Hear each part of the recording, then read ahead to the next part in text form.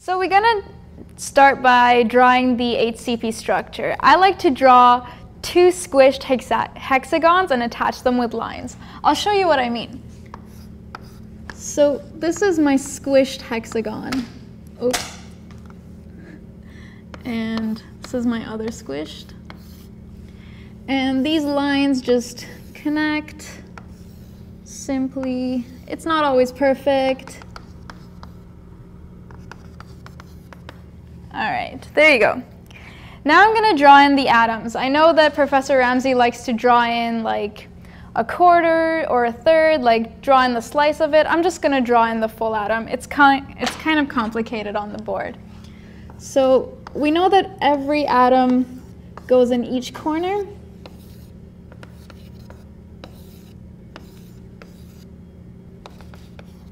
Okay, and one atom fits in the center of each hexagon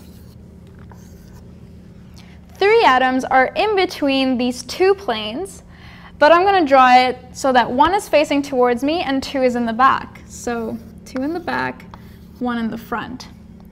I did this for a very important reason, and that's because it forms a tetrahedral site right here. I'm going to draw this tetrahedral site bigger because that's what, what's going to help us find the A to C ratio. So a simple tetrahedral site has is composed of many triangles. So the height here, it goes down the center right in the middle of this bottom plane. That is what I call the height. And this little buddy here, that's our x and every single side on this tetrahedral site is A. It's an equilateral triangle. So what we want to find is this A to C ratio. But what we know is that we have an H and an X, both unknown, except we want to relate these things. So how I would relate this, because this is a right angle triangle, I would say that h squared plus x squared is equal to a squared. And that would just be the interior triangle of this tetrahedral site. Now what we don't have is h and we don't have x, and I'm going to show you how you find that.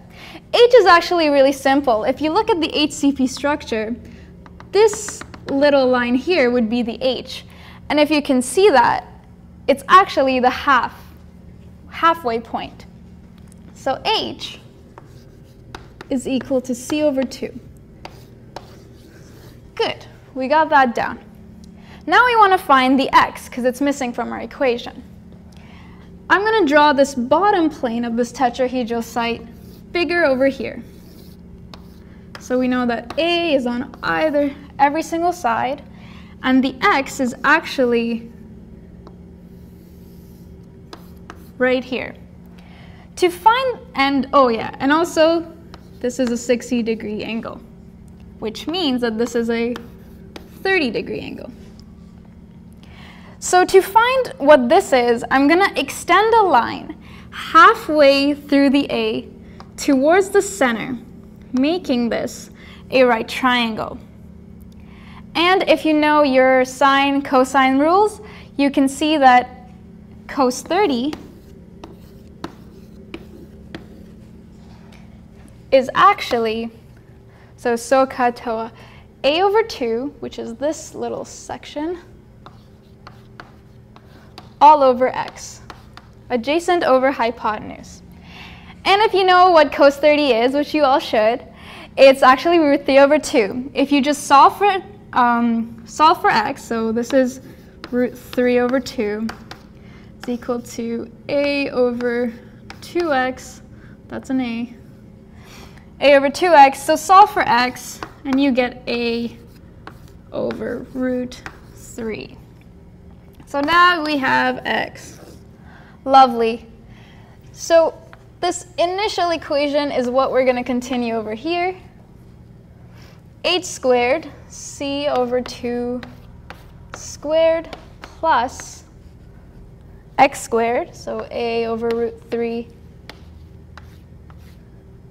squared is a squared. Now we only have a's and c's in our equation. We can solve for the c to a ratio. Kind of easy, kind of, you got to carry it through. It's kind of mathy. So c over 4, a squared over 3 is a squared. Take this to the other side. c squared over 4 is equal to, uh, let's say 3 over 3 3 minus 1, 2 over 3, a squared. All right, so I'm going to solve for c over here, and I'll say that c is equal to, so 2 root 2